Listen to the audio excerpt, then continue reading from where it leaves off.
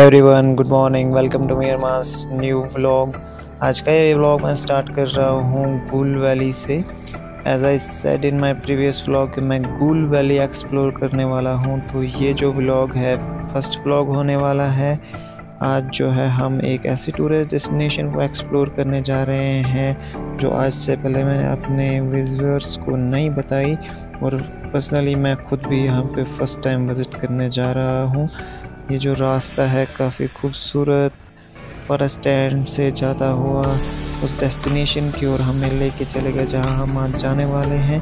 मैं आपको बताता चलूँ कि कूल वैली जो है डिस्ट्रिक्ट रामबन के अंदर आ जाती है, जम्मू कश्मीर का जो डिस्ट्रिक्ट रामबन है।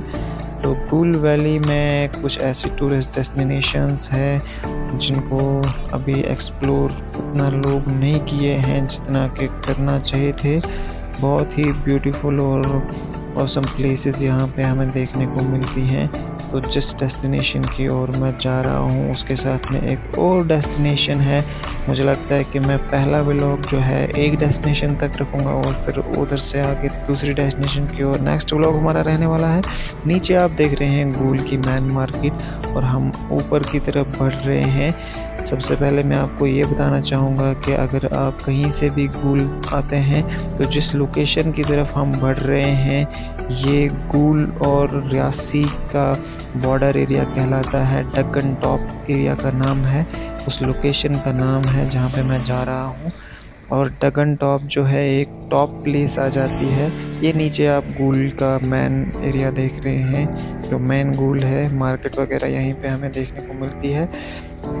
तो ऊपर की ओर हम बढ़ रहे हैं। इस रास्ते से जो है, ये एक टेंपू जा रहा है, जो कि रियासी डिस्ट्रिक्ट के माहौर एरिया की तरफ़ जाने वाला है और इसी में हमने भी लिफ्ट ली है और हम वहाँ की तरफ़ जा रहे हैं। हालाँकि अगर पर्सनल व्हीकल हो तो वो लेके भी आ सकता है, कोई भी आना चाहे। यहाँ पर ऐसी कोई सर्विस अवेलेबल नहीं है, जो कि कूल से डगन टॉप के लिए डेली बेसिस पे रन करती हो। इसलिए हमें जो गूल से माहौर रियासी के डिस्ट्रिक्ट में सर्विस यहाँ पे अवेलेबल रहती है डेली बेसिस पे। उसके थ्रू ही वहाँ की ओर जाना पड़ रहा है। और ये जो टेंपो वाले हैं, ये भाई साहब हमें एटी रुपीज़ चार्ज करने वाले हैं वहाँ तक। हालाँकि हमने सुना है कि संडे के अलावा बाकी दिनों में यहाँ पे मेटाडर भी अवेलेबल रहती है जो कि गूल से माहौर के बीच में डेली बेसिस पे चलती है।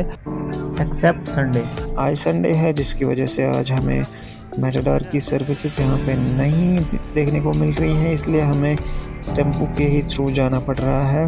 और मेटाडोर में आई थिंक फेयर थोड़ा बहुत कम हो सकता है। तो ये मैं इसलिए बता रहा हूँ क्योंकि कुछ लोग जो यहाँ पे आना चाहते हों पर्सनल व्हीकल ना हो तो उनके लिए ये इन्फॉर्मेशन मैं शेयर करता हूँ। क्योंकि आपको पता ही होगा, मेरा जब भी व्लॉगिंग करता हूँ, कोई ट्रैवल वीडियो होता है तो वहाँ पे मैं रिलेटेड टू ट्रैवल जो भी इंफॉर्मेशन होती है, वो शेयर करना ज़रूरी समझता हूँ। क्योंकि उससे क्या होता है कि जो नए विजिटर्स आना चाहें तो उनके लिए थोड़ा आसानी हो जाती है। मैं बानीहाल से यहाँ पे बाई ट्रेन आया था, संगलदान संगलदान से गुल भी हम सोमो के थ्रू आए और सिक्सटी रुपीज़ फेयर था।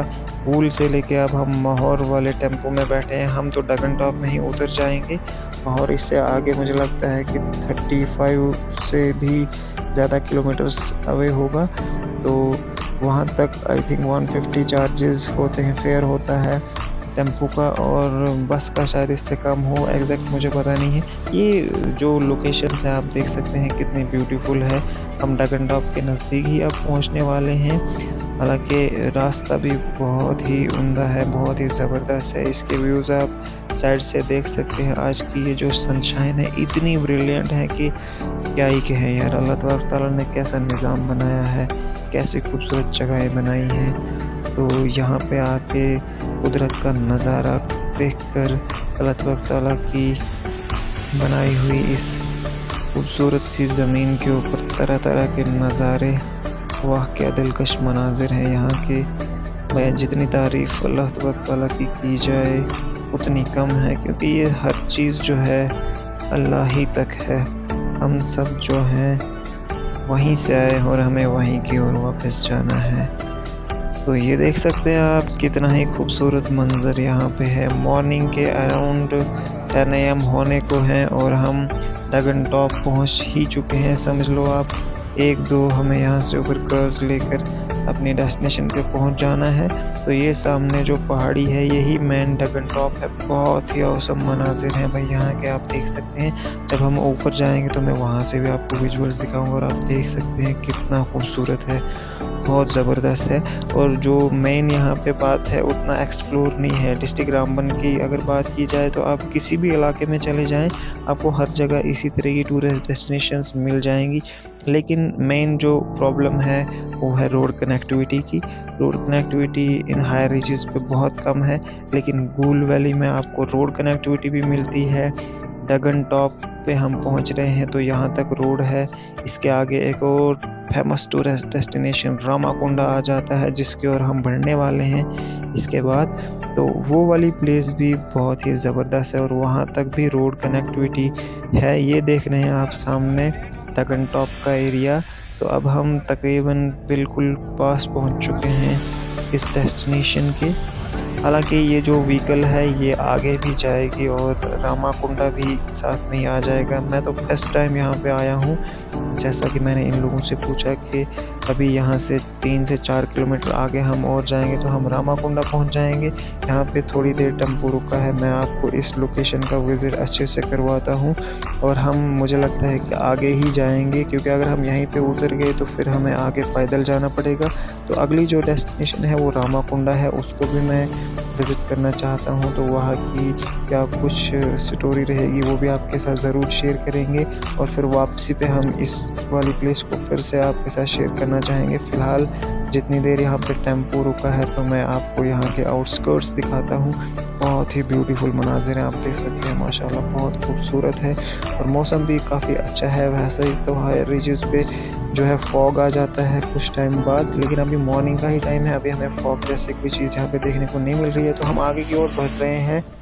तो डग्गन में आपसे हम आगे की ओर बढ़ रहे हैं, जैसे कि मैंने आपको पहले ही बताया था नेक्स्ट जो प्लेस है, वो रमाकुंडा है तो वहीं की ओर मैं बढ़ रहा हूँ। इधर आप फेलोज बहुत ज़्यादा नंबर्स में देखने को मिलेंगे। दे आर ग्रेजिंग और देर मीडोज तो ब्यूटीफुल से विजुअल्स हैं। और इस टाइम यहाँ का जो एरिया आप देख रहे हैं, ये डिस्ट्रिक्ट रियासी के अंदर आ जाता है। ये कौन सा एरिया है? अभी तो मुझे पता नहीं है, किसी से पूछ के मैं बताऊँगा आपको। तो जैसा कि मैंने आपको बताया ही था कि हम आज पूल को एक्सप्लोर करेंगे तो ये देख सकते हैं आप पूल के साथ साथ यहाँ पर रियासी का एरिया भी एक्सप्लोर हो रहा है। तो अभी के लिए हम रामाकुंडा वाली साइड जा रहे हैं। ये टेंपो हमें एक जगह ड्रॉप करने वाले हैं भाई साहब। इसके आगे हमें थोड़ा सा चल के जाना पड़ेगा, क्योंकि टेंपो उस तरफ़ नहीं जाता है, वहाँ पर पर्सनल व्हीकल लेके जा सकते हैं। तो ये एरिया आप देख सकते हैं, बहुत ही खूबसूरत है। अब यहाँ से आगे हम नेक्स्ट व्लॉग स्टार्ट करते हैं।